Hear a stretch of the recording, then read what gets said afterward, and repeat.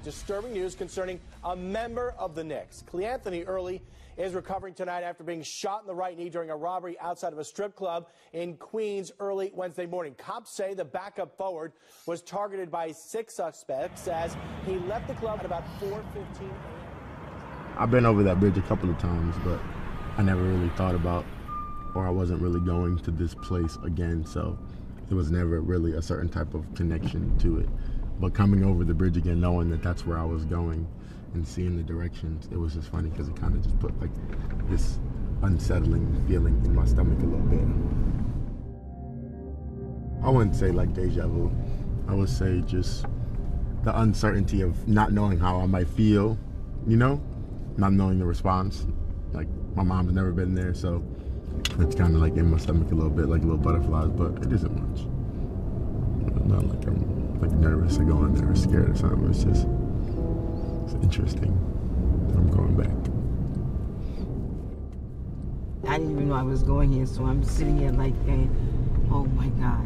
And then it brings me back to two weeks before that. And I had a dream that I told my son he was in the wrong place at the wrong time. That's all I remember in the dream.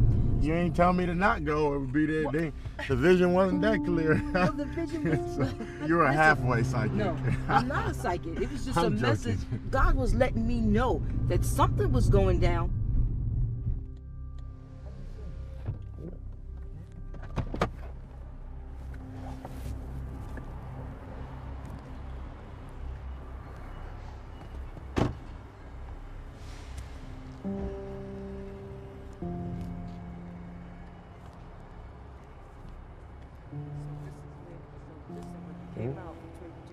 You left that way. Mhm.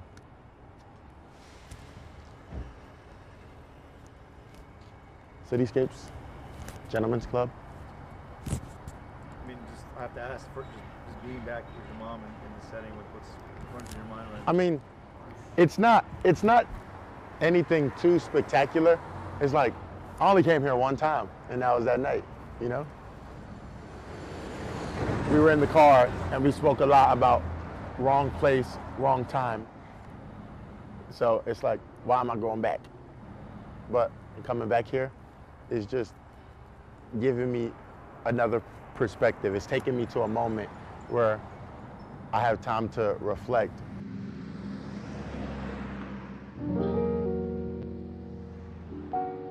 From New York, Bronx, New York. New Yorkers are some of the best people in the world. Yeah, this is the building I grew up in right here. 188 for Marion, 2466. Two ACs in the window, we live right there. A New Yorker has so many experiences and so much variety and so much culture. Yeah, we're going up to the sixth floor. That's where I used to live. Because there's all different types of people. My friend Mike used to live downstairs. That's where Muko lives. As a city kid, you're kind of forced to deal with that. Lou Rob used to live right here. It gives you an edge. Dominique used to live downstairs.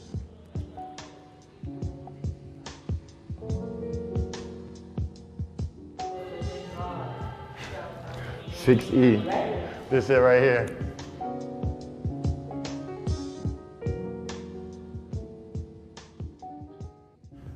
A lot of the times at home, people are getting certain examples that are like truly crazy.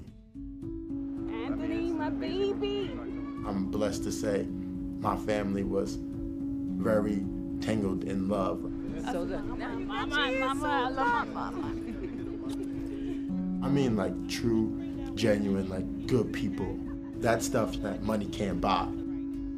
I'm gonna give as long as if I have 50 cents and you say you need a quarter, I'm giving you a quarter. And I could be hungry, but I'm gonna. I'll eat some chips until I get home. That's just it. My mom made tons of sacrifices. She kind of put her head down and worked as many jobs as she needed to work. Oh, he's going to play ball. That's right. Started me out. She showed me how and what it was to prioritize and focus. I still am extremely attached to those morals. I had a whistle. So everybody around here knew my whistle. So when I hit the block. And it was like that, but loud. And everybody knew that whistle, and everybody started running. Oh my God, it's your mother, it's your mother, run. It was just so much fun. It's like when you're a kid or when you're young or people who go through traumatic experiences and to kind of cope, a lot of times you have to embrace and kind of approach the situation a certain type of way where you are revealing that pain and kind of addressing it so that you can conquer it. I won't be able to get over it if I don't face it. Right. So Absolutely. I have to do this. You know what I mean? For myself. And I think this was a good start coming here You know what I mean? and just seeing the place and just just knowing that this is where it started and to see how far But the crazy part is, there this ain't where it started. This ain't where it's ending. This ain't none of that. I don't I don't believe this is where it started. I don't believe this is where it's ending. I believe this is just part of the process.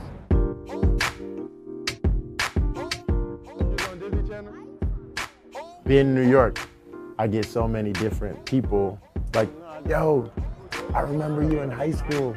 You used to be killing, you know? So maybe it's like that in other places, but for us, if you're good, you're gonna be respected. If you come back to the city, they're gonna know who you are. What up, man? Cool. Yo, good to see you, baby. Good to see you too, man. How you doing? Been good, man. You looking real good. Doing what I gotta do.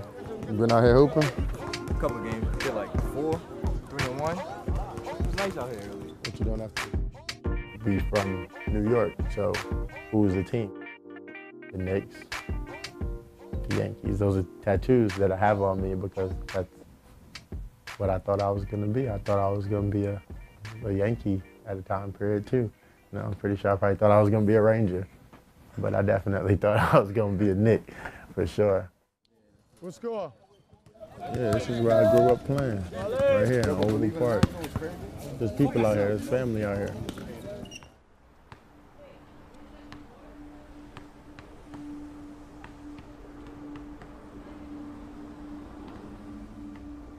They were big on basketball. That's all they did. And when I used to hang out with them and they used to watch me, they would just go to the basketball court and there was times where I wasn't big enough to play with them. So you would go play basketball on the monkey bars or something they really introduced me to it, you know what I mean? And since they did it so much, it was something that just kind of grew on me. They were talented, and everybody used to like, oh, they pretty good, they pretty good. When you hear stuff like that, that make you competitive. You want to be better than, than what they might be. Around that time, I probably was no older than nine. It was definitely a time where you kind of still got that blank sheet, you know what I mean? This is all you know. Y'all about to play again? Nah, I don't know. I don't know. I don't know if I got picked up. Everybody got their own style of playground ball. In the Bronx, you're gonna get what you're gonna get in the Bronx. Gritty, sometimes grimy, it's aggressive, in your face. You see it. Look. Look at that, look at them. if you wasn't good, nobody was respecting you. So just like these kids out here, you hear them screaming, like, you just gotta come out here and hoop. That's anywhere though. If you hoop, they gonna rock with you. I don't know that I'm going to wake up every day, but if I do and when I do, I'm extremely thankful for it because I didn't have to. So it's like I have to make choices that are going to continue to put me in a situation that's going to be better. When it comes to the things you truly care about and mean the most to you, how are you truly going to prioritize that and remove and rid yourself from being able to be distracted? And I think the people who figure it out usually find ways to just lock in. And I think that's always what I was able to do.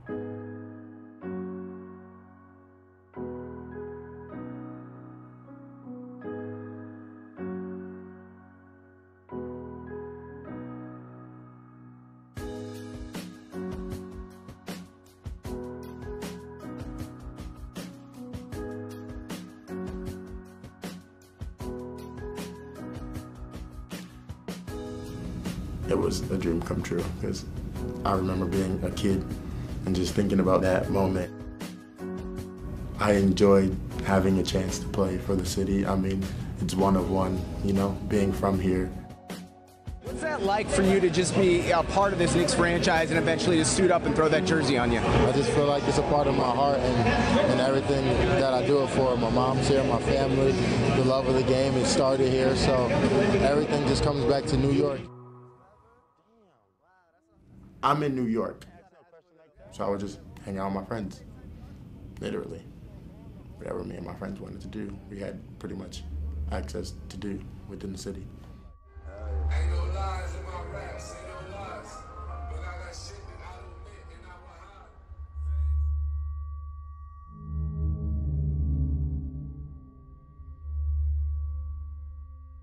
He was performing at Cityscapes for his birthday.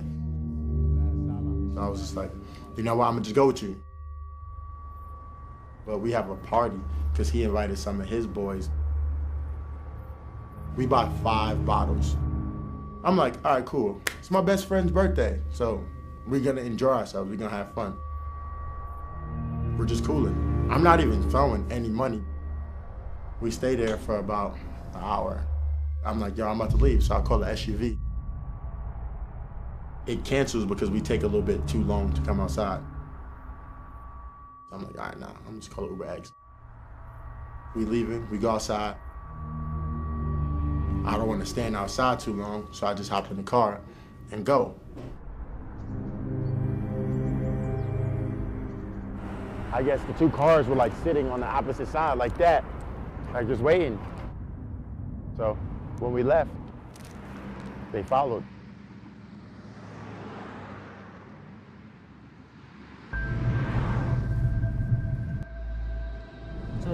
This light? Like coming up here. Yeah, this is it right here. So it, it got caught on like these cameras right here. Yeah. So, like right the cameras, yeah. The car stopped short. I look up, nigga, there's a fucking SUV in front of the car. So I'm like, by the time I look to the sides, there's multiple people with guns, black masks, and opening the door. Give me everything you got. Now I got guns in my face, like, There's four, five, six, as I can see, like three and three. Black mask, hoodies on, guns. Give me everything you got. So I'm taking off my chains because I got the two chains on. As I'm taking off my chains, I'm kind of inching out of the car because I feel secluded. So I'm like, I gotta get out. Everybody got guns. I gotta get out. But there's a dude that's in the passenger seat of the car that's like behind us. He hop out and he like, yo, give me everything you got. But they already got everything. And he has it straight at me. I'm just like, I'm looking at him like, you know what I mean? Like,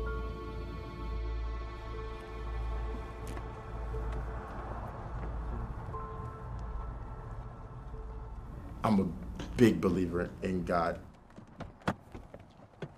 I remember at a young age, my grandmother had died. So I remember my mother explaining to me how my grandmother died, and I'm thinking, you know, good person, live a long life. People die from old age. Mount Zion Cemetery. It's a good thing I end up in one of those, right? After the night. And then like a girl in my church died from a brain aneurysm. How do you explain that to a kid that's younger than 10 years old? Like you could randomly die. So I remember being freaked out. What is this death thing? Like it just seems to like just just come and go at any given time. You know what I mean? Like what does it take for this not to happen to me? A couple of years after, I see my cousin get shot. So my cousin gets shot, he dies. I see the dead body on the floor.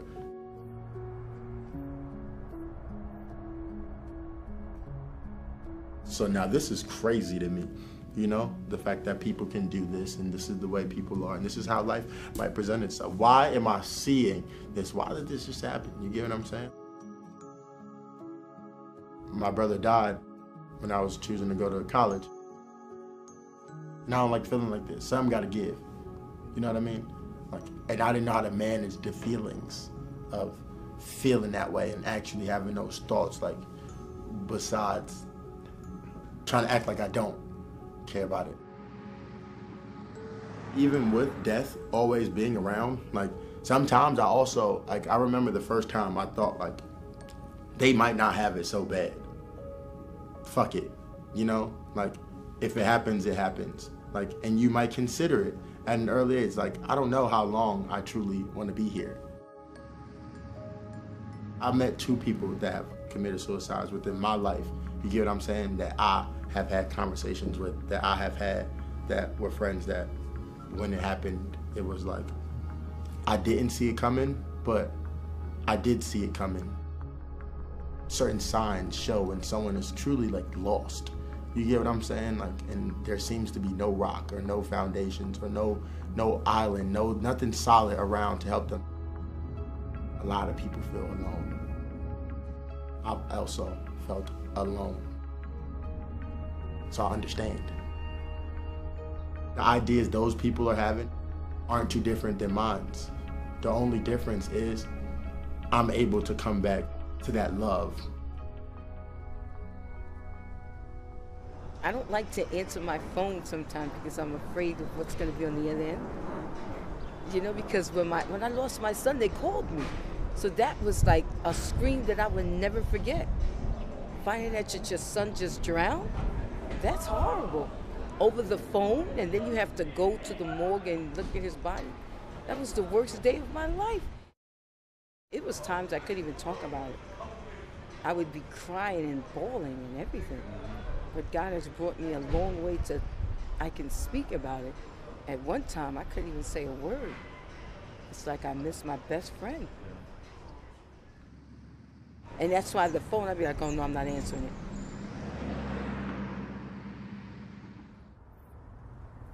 No one knows why he shot. They didn't shoot until I said, yo, just don't shoot. So it's funny because I was just talking about something about the uh, law of attraction and things like that and speaking things in existence. And I mean, he had it at me. He just kind of was getting in the car when he shot. And I felt like that might have just been a reaction to what I said. I'm just like, yo, so y'all got everything? Just don't shoot. And it was like, that was the last thing that happened. As soon as I hear gunshot, I turn and run. I remember when I had ran, Which way did you run? I had like cut this left right here. You ran here? Yeah. Okay. You turned this way. You Yep. ran here. I turned that way. Boom! I made the first left. Then made the first right. You said it was a basement you went under. No, it was like the cribs. It was like right here. Like it's like the like these things right here. Mm-hmm. You know where the car where the car's parked. I stopped because I had felt it. I felt my leg like twitching. So I kind of look down and I like see like blood, like you know what I mean, on my jeans, like inside of my jeans. So I kind of just pull down my pants and I see two holes in my leg. And the first thing I think is, how am I going to explain this shit? Like, I remember that was the first thing I thought. In Queens, how the garages are in front of the cribs, it's like the cribs underneath here, and then like the steps to go up. So as I'm running, I kind of walk back there, you know, just to see. Cause I don't know if they following me or nothing. I like walk up the stairs like, to the where the light is. I see a light on. I knock on the door. So I knock on the door. Like somebody looks at the window. So I'm like, can you help me? Can I make a phone call really fast? I make a phone call. My name is Clint. Like, like I ain't say I play basketball or anything, but when I said my name, he instantly was looking. He opened the, the key thing. He was like, no fucking way. Like, you know what I'm saying? Like, what are you doing here? He opens the door. I go inside. The cops pulled up five minutes right after that. It's six, seven in the morning now. Then it won't 20 minutes before I'm on social media.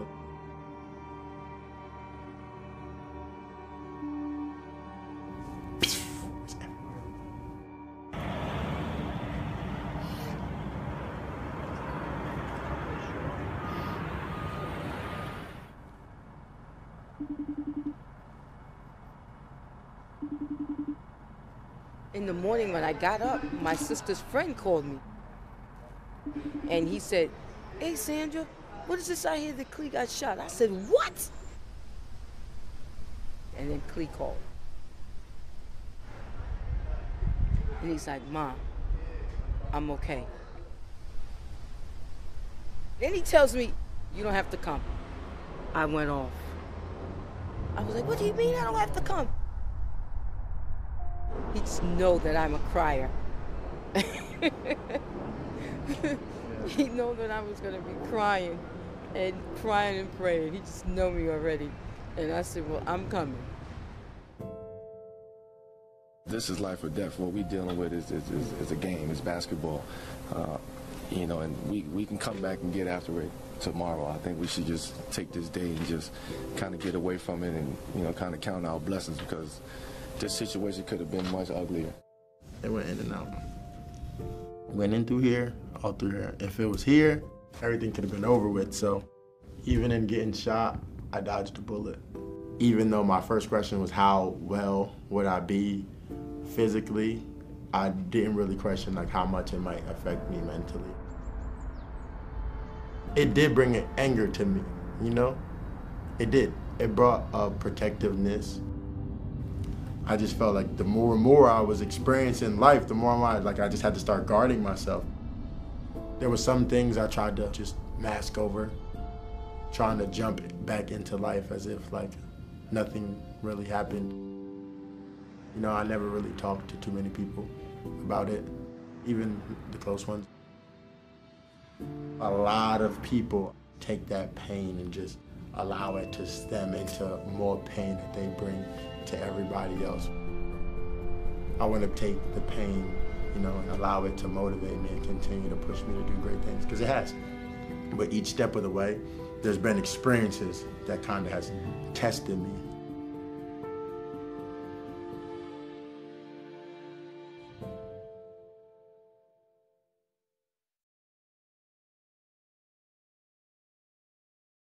while Clee's still in the hospital, I'm not going to really get into a debate over, you know, what guys should or shouldn't be doing. I mean, guys going to go out. Guys going to have a good time. Uh, you know, I think we just have to be a little bit more aware and a little bit more conscious of kind of where we at, who we around, our surroundings.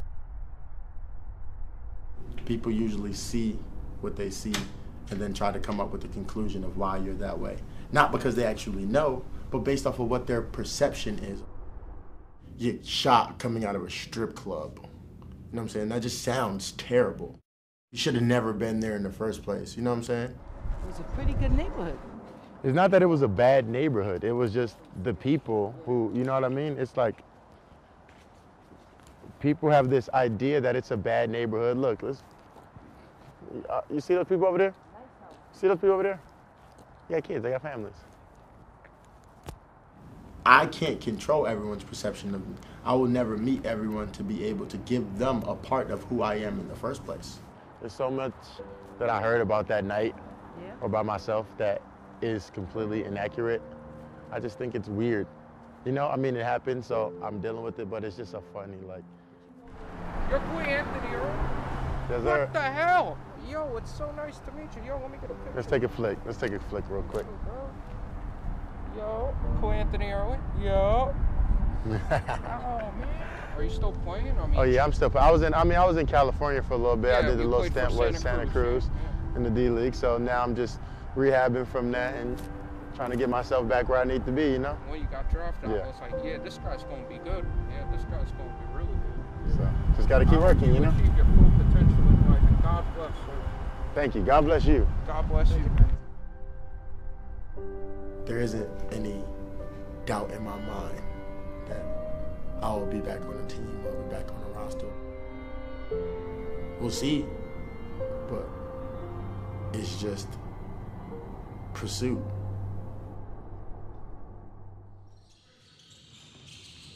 There was a lot of big name guys that came through. LeBron, Westbrook, Melo's always there. James Harden came through. Tim Hardaway, he's always there with me. So I had a lot of fun. I competed, I played well. it'll be even better when it actually pays off, you know. But for right now, it's been real good just to see them supporting and knowing who I am and having heard of the experience. Right now, I feel good. I feel healthy. I'm just ready to continue to keep moving forward.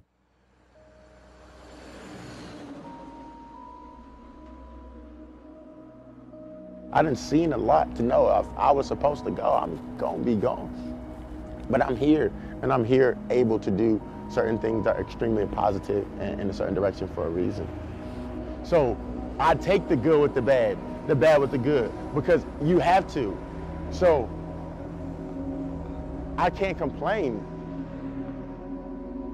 I just want to play basketball. I just want to be able to continue to do what I love at the highest level and compete. And I feel like the opportunity will come.